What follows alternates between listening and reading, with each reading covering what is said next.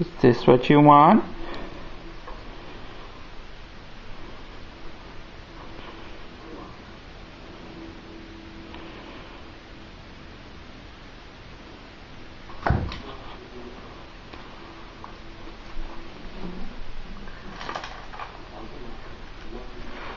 Mm-hmm.